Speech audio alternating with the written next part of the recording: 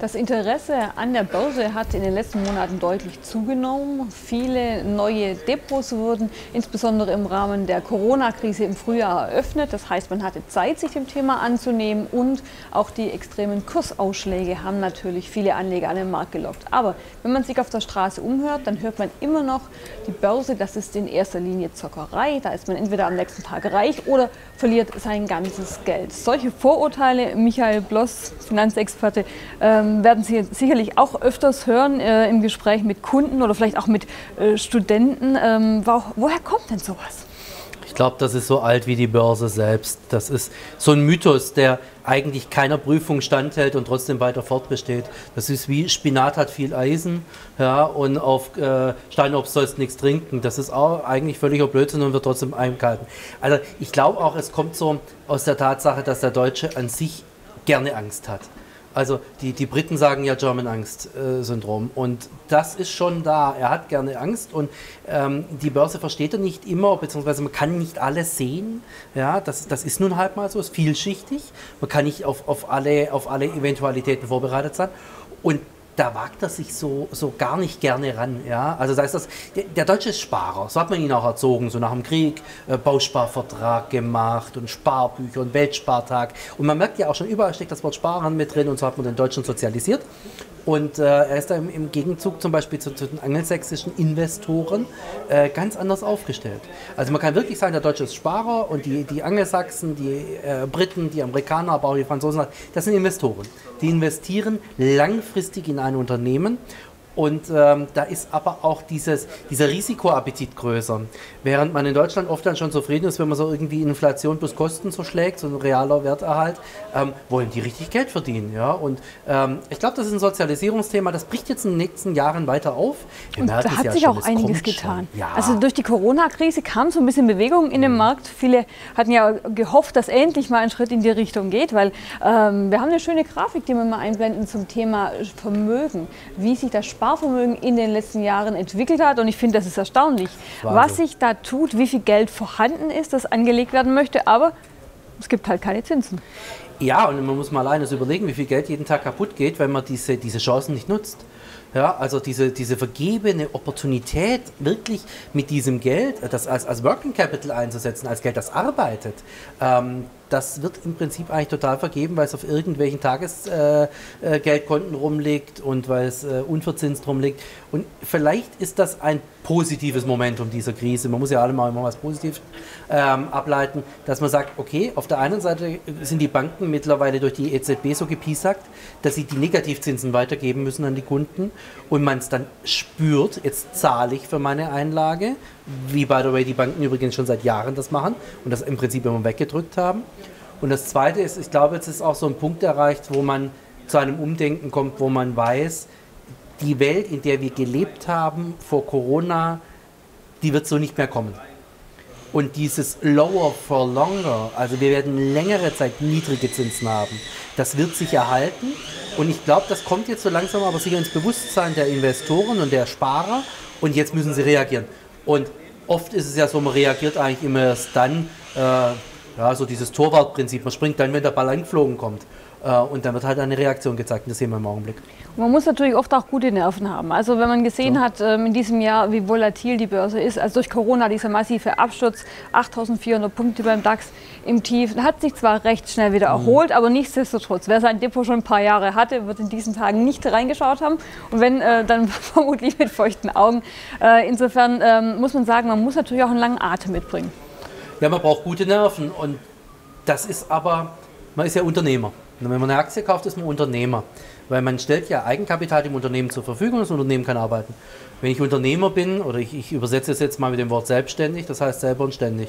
Das heißt, ich bin selber verantwortlich und ständig irgendwie dran.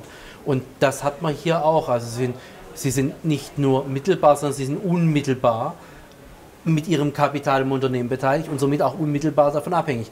Und jetzt war es natürlich aber, also ich muss ja ehrlich zugeben, ich hätte jetzt auch nicht gedacht, dass wir uns so schnell wieder erholen. Ähm, das war schon herb, was wir da gesehen haben. Aber man muss auch sehen, es ist natürlich auch ein Thema, ähm, das the way auch noch nicht ganz durchgestanden ist, aber Deutschland hat es gut hinbekommen. Wir sind bisher gut wirtschaftlich durch diese Krise gekommen. Es wird noch so spannend werden, wenn man mal so Meldeverpflichtungen zur Insolvenzverordnung wieder einsetzt und sowas. Aber was wir bisher gesehen haben, haben diese, diese auch staatlich geförderten Programme sehr gut gezogen. Und es ist an der Börse nun halt mal so, es wird die Zukunft gehandelt, nicht die Vergangenheit.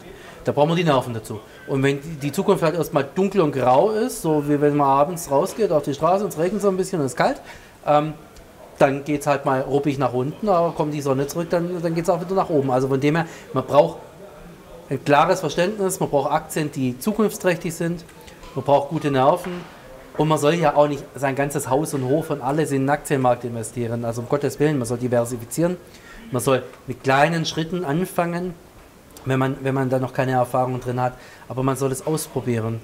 Denn ich kann eigentlich erst über etwas richten, wenn ich es ausprobiert habe. Ja, und wenn ich, wenn ich davor schon richte, dann ist es eigentlich kein richtiges Urteil. Bevor wir mal schauen, wie die ersten Schritte gelingen können, vielleicht noch ein Sonderthema. Wie sieht es aus mit Stiftungen, die ja momentan sicherlich auch kein einfaches Fahrwasser mhm. haben, mit Zinsen eben nahe Null, ähm, Schwankungen an den Aktienmärkten, die vielleicht ein Privater aushält. Wie sieht es da bei einer Stiftung aus? Kann oder muss eine Stiftung das aushalten? Was geht da überhaupt? Ja, eine Stiftung hält relativ viel aus, weil eine Stiftung ist auf Ewigkeit errichtet. Das ist der große Vorteil einer Stiftung. Ähm, es ist natürlich so, dass eine Stiftung ja einen Stiftungszweck erfüllen will und kann und muss und diese Erfüllung ist an das äh, Erwirtschaftete auch gebunden. Also ich kann nur dann was ausschütten, wenn auch dementsprechend was erwirtschaftet wird, ganz vereinfacht gesagt. Also wird die Stiftung natürlich schon schauen, dass dementsprechend Erträge reinkommen. Jetzt war das in der Vergangenheit immer schön, wenn, wenn ein gewisses Zinsniveau da ist und es kommen automatisch die Coupons, ähm, dann hast du natürlich schon mal so einen Grundstock, mit dem du umgehen kannst. Jetzt ist es so, eine Stiftung darf äh, so um die 30% neutrale Aktienquote fahren, da ist es dann in Ordnung, die wird ja beaufsichtigt. Ähm, und das nutzen die halt, halt aus. Und die andere Seite, muss man auch noch sagen, Stiftungen haben, dadurch, dass sie Ewigkeitscharakter haben, ähm, natürlich sehr langlaufende Bonds mit reingepackt. Das heißt, die haben teilweise noch hohe Coupons, weil sie halt einfach vor äh, geraumer Zeit schon sehr viel in diese Sache reingekauft haben. Da kann man noch ein bisschen zehren davon. Aber eine Stiftung ist eigentlich ein schönes Beispiel, wie man investiert, nämlich mit der, ich sage da immer mit der sanften Hand, ohne Hektik ohne Sprünge. Ich habe eine Aktienquote, ich habe eine Rentenquote, ich mache so ein bisschen Overlay-Management. Das ist so ähnlich wie die Melodie, die zum, zum äh, restlichen Lied passt. Aber ich kann langfristig damit planen und ich habe langfristig auch meinen, meinen, äh, meinen Horizont, wohin ich mit dem Vermögen will. Und das würde ich vielen Privatinvestoren raten, jetzt nicht, weil sie einen Ewigkeitshorizont haben, aber einfach mal in die Langfristigkeit reinzugehen und nicht dieses heute rein, morgen raus. Das mag auch schön sein, das kann man auch machen, das freut auch die Kolleginnen und Kollegen unten im Saal. Aber ähm, das ist dann wirklich die ganz kurzfristige Melodie, die gespielt wird. Und da kann es halt auch sein, dass ein, eine, eine große Orgelpfeife kommt und einen umweht. Das ist halt einfach so. Und das muss man sich bewusst sein. Aber wenn ich langfristig auflege, dann, dann äh, habe ich da eigentlich überhaupt gar kein, gar kein Problem.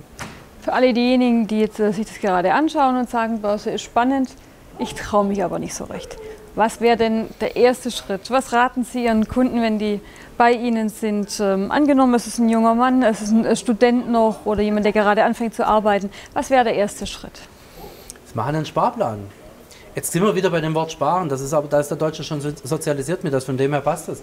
Machen Sie einen Aktiensparplan. Konsequent Monat für Monat, Jahr für Jahr, Scheibchen, Scheibchen dazu kaufen.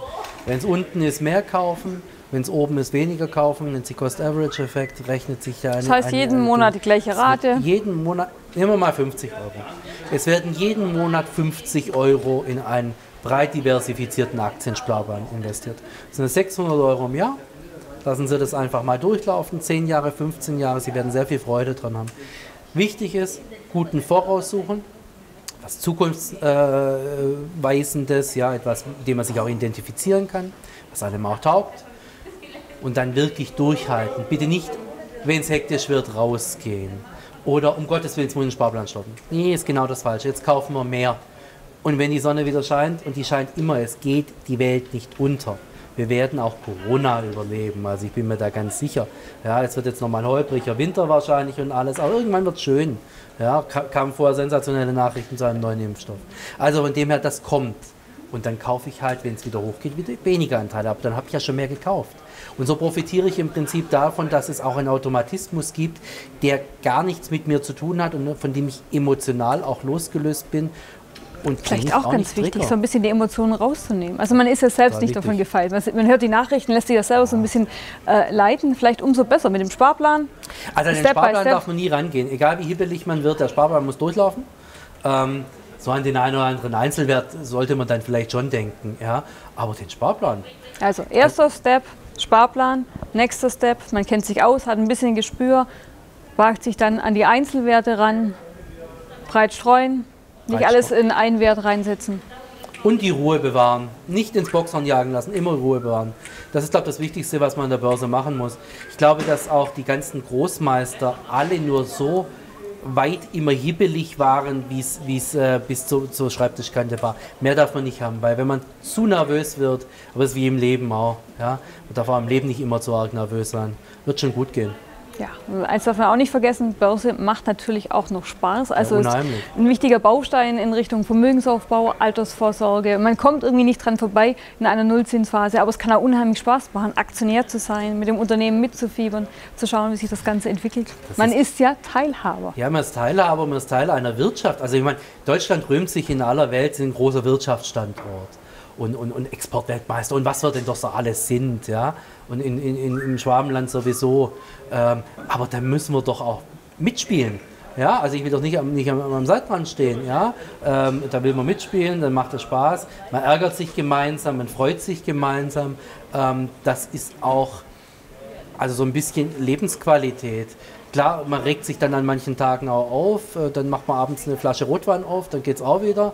Ähm, und am Tag drauf macht man dann vielleicht äh, mit der Familie eine Flasche Champagner auf, weil es was zu feiern gibt. Ja, das sind halt äh, die, die Dinge. Man kann auch Mineralwasser und Tee trinken, geht alles. Ja, aber ich finde halt einfach, es, es muss Spaß machen.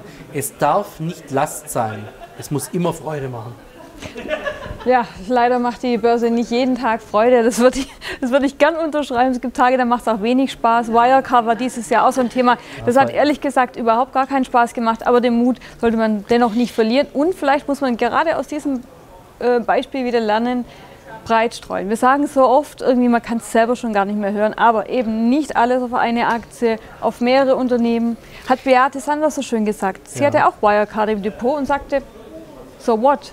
Es ist eins von vielen, ich habe es versucht, es hat nicht geklappt, aber da ich viele andere Werte auch noch im Depot habe, tut es nicht so weh. Ja, man wird nicht immer recht haben, das geht nicht. Ja, also ich sag mal so, wenn man so bei 51 Prozent ist, ist das auch ganz gut. Ja, also ich meine, wird reichen. Es, es, es könnte auch schlimmer sein, ja. Und ähm, natürlich hat jeder so ein bisschen mit der Wirecard auch, ich sag mal, mitgefiebert. Aber ich darf da keine Blogposten bauen. Aber ich darf auch sonst keine Blogposten bauen. Also das hat nicht mal mit diesem Einzelwert etwas zu tun. Aber ich denke, wenn ich so, so äh, schön aufgebaut und austariert bin, dann halte ich ein so ein Verreckerchen auch aus, weil mich der Rest auch freut. Und natürlich ist nicht jeder Tag toll.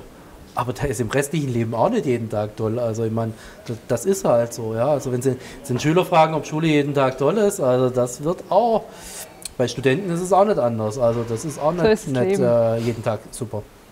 Soweit die Einschätzungen von Michael Bloss, der gerne bei uns zu Gast ist und auch über das Thema Aktien wunderbar mit mir äh, philosophiert. Ein Thema, was uns beiden ja ziemlich äh, am Herzen liegt und was momentan immer mehr an Beliebtheit bei den Anlegern gewinnt, was uns natürlich auch sehr freut.